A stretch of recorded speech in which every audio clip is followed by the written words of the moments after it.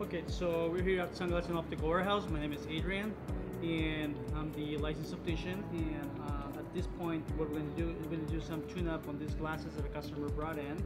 Probably you don't see it from there, but this temple is offset compared to this one here. So what we're going to do, we're going to have some tuning so that way these glasses fit straight into the customer's face. This is a heater. We use this to to make the frames a little more flexible, uh, especially frames, plastic frames, Optyl or acetate. This is metal, but it has also some plastic here that when the customer came in, I noticed that they weren't sitting correctly on his face.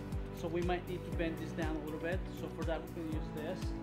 Uh, basically what I'm doing is put very little hit here. Only a few seconds, so that way we we don't burn ourselves and help not to put your fingerprints too much on your glasses,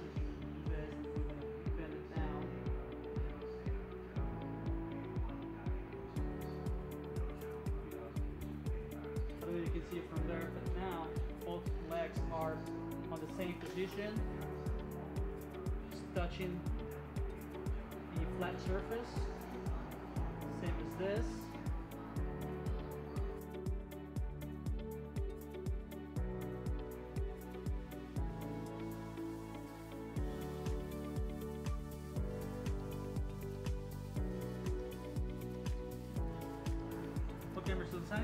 Glasses.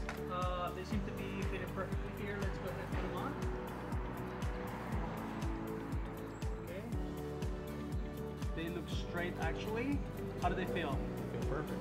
Okay, so now what I would recommend is, um, let me have your glasses real quick.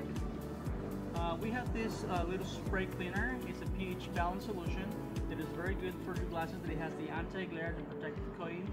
Uh, also, it's real good for your night driving, reduce eye strain in front of the computer. So with this, you want to spray them from front and back. You also want to use the microfiber cloth, which is specifically designed for these soft surfaces. So you're gonna clean it a couple of times. And that way, you're gonna prevent from having further scratches on your glasses. This is the best way to clean it. Do not use Kleenex, paper towels, toilet paper. That is a wood product and it has fibers that at the end is gonna scratch your glasses.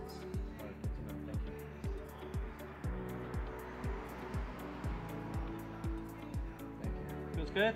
Good. Okay. Thank you, Mr. Lasagna. Great to see you. Take care. Have a nice day.